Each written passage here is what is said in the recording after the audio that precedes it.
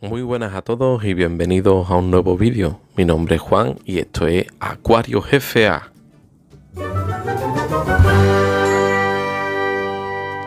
Muy bien amigos, pues en el vídeo de hoy, como el título bien indica, será un preguntas y respuestas que ustedes nos habéis hecho a nosotros en el canal. Empezamos con Curro Bulnes Pérez. Él nos dice, se me ha puesto un poco turbia y todavía no he metido ni un pez. ¿Qué hago? Bueno, la conversación siguió y resulta que Curro pues es novato y es el primer acuario que monta. Entonces, cuando el acuario está ciclando, que lo tienes que tener durante 30, 35 días, ¿vale? Sin meter ningún pez, es normal que el agua se te ponga turbia, como también normal que te salgan algas de todo tipo. Eso es normal, ¿vale? Cuando el agua se ponga cristalina, ya quiere decir que le falta poco para que termine de ciclar. Seguimos con MMRMDK. Hola, soy nueva en tu canal. Mi consulta es: tengo tres gambas, una roja, otra transparente y una azul. Quiero que se reproduzcan, pero en la tienda me dice que es imposible saber si son macho o hembra. ¿Eso es cierto? Gracias por la respuesta y éxitos en todo. Muchas gracias. Igualmente te lo deseo a ti. Bueno, lo primero decirte que eh, mezclar los colores de gamba cuando hablamos de neocaridina, porque supongo que son neocaridina, lo que vamos a conseguir es que salga el gen salvaje de esta gamba, que es una gamba, te puede salir transparente o marrón, ¿vale? Cuando mezclas los colores, lo mejor es no mezclar. Si tienes gambas rojas con rojas, si tienes azules con azules. Eso es lo mejor que puedes hacer. Después decirte que si el de la tienda te ha dicho que es imposible saber si es macho o hembra, pasa una de dos cosas. O no te ha querido decir la verdad porque él no sabe cómo distinguirla, o es que son tan pequeñas que todavía no se saben. Cuando ya hayan desarrollado, vas a notar que las hembras, en la parte del lomo de, arriba, se le va a poner un color más oscuro que el que tiene. Por ejemplo, a las rojas se le suelen poner marroncitos. Entonces quiere decir que, esa gamba ya está lista para reproducirse. Y normalmente también son más grandes que los machos. ¿Vale? Pero todo eso lo sabrás cuando ya pase un tiempo y esas gambas ya hayan desarrollado. Mientras son pequeñas, sí es cierto que es muy difícil saber eh, su sexo. Espero te haya aclarado tu pregunta. Seguimos con Carolina Lupini. Buenos días, soy Carolina desde Argentina. Mi pez Carassius está hinchado del lado izquierdo, pero no sube a la superficie. Está acostado en el fondo de la pecera. ¿Será la misma enfermedad? Muy bien, eh, Calorina. Eh, lo primero, explicaros que esto lo escribe en un vídeo que tengo yo sobre eh, problemas que tienen los peces en la vejiga natatoria, ¿correcto?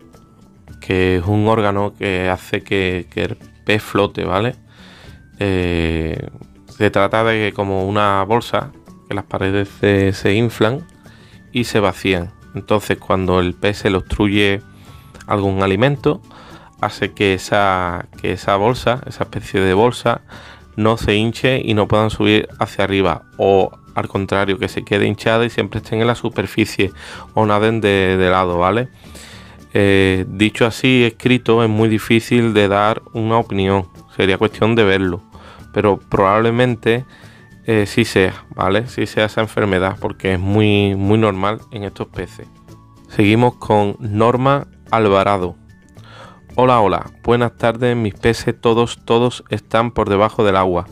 Y es que días atrás metí unos pececitos nuevos y se los comieron. Y uno de mis peces ya murió y no sé por qué.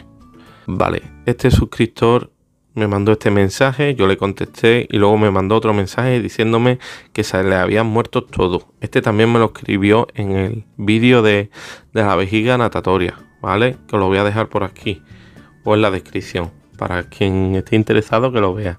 Tenemos que tener cuidado porque casi todos los peces, todos los peces se van a comer a un pez que le entre por la boca, ya sean carnívoro o herbívoro, ¿vale? Si a un pez le cabe otro por la boca, se lo va a comer. Y pues lo que yo entiendo aquí no es un problema de vejiga natatoria, aunque puede ser. Yo veo más un problema de obstrucción, que es cuando un pez dura muy muy muy poco, dura horas o menos de un día. Cuando a un pez se le obstruye algo y le está afectando realmente, ese pez tiene las horas contadas. ¿Vale? Entonces, para la próxima vez tenemos que tener cuidado de no meter pececitos que se coman a otros pececitos. Entonces, para eso eh, existen las tablas que hay de, eh, para peces que son compatibles con otros peces, etcétera. Pero ya os digo, no es compatible un pez que le entre en la boca a otro pez, sea cual sea. Seguimos con un suscriptor que se llama Jesús Parra. Hola amigo, una duda, los peces escalares una vez comprados de unos 6 centímetros se pueden meter directamente en una pecera plantada o deben pasar por una fase de engorde con la urna vacía. Y de ese tamaño, ¿cuántas veces se les da al día? De comer, supongo. Un saludo desde Colombia. Un saludo para ti desde Sevilla, España.